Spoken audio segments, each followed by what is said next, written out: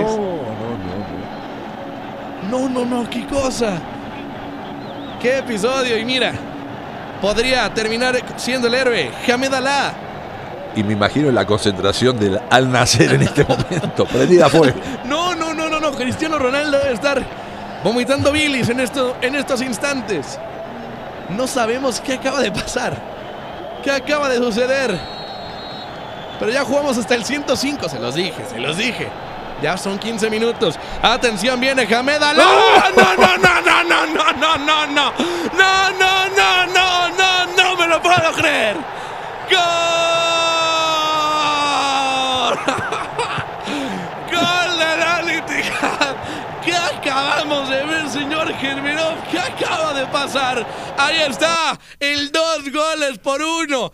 Y mira, cuando parecía que lo de Bupensa había sido un error catastrófico, dice Hamed Alá, déjamelo a mí, cobra de la misma manera, pero él sí la manda a guardar, señoras y señores, lo está ganando y probablemente lo ganará el Al Ittihad.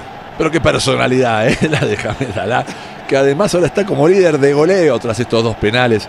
Ha convertido 8 en la campaña, 18 anotaciones igual al nigeriano Igala. Le da los tres puntos al Ittihad y la fiesta. La fiesta, mira el chiquito cómo festeja, el chamacón. Qué cosa acabamos de vivir. Y así festeja el marroquí con todos. Festeja porque sí.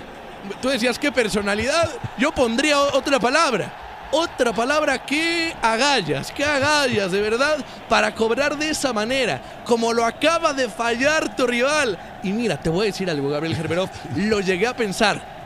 Y, no lo solté, ¿eh? Iba a decir, imagínate que lo cobrara igual, no puede ser.